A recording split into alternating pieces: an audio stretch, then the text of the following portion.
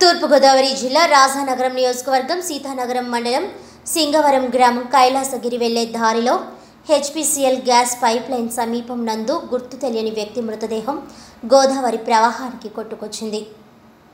సమాచారం అందుకున్న incharge SI Firoz సంఘటన స్థలానికి చేరుకొని దర్యాప్తు చేస్తున్నారు. ఈ సందర్భంగా ఎస్ఐ ఫిరోజ్ మీడియాతో మాట్లాడుతూ నీటి ప్రవాహానికి కొట్టుకొచ్చిన మృతదేహం పురుషునిగా గుర్తించడం జరిగిందని దీనిపై కేసు నమోదు చేసి దర్యాప్తు చేస్తున్నామని పూర్తి వివరాలు రావాల్సి ఉందని అన్నారు.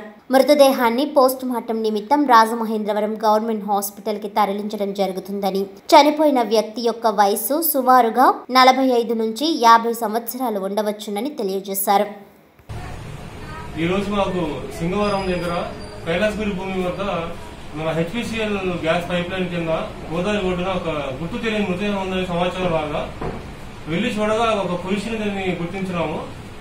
దీని మీద మేము కేసు దర్యాప్తు చేసి ఈ సస్పిషియస్ డెత్ కేసుగా రిజిస్టర్ చేస్తున్నాము. దర్యాప్తు చేసి దాన్ని ఐడెంటిఫై చేసుకుని ప్రయత్నిస్తాము.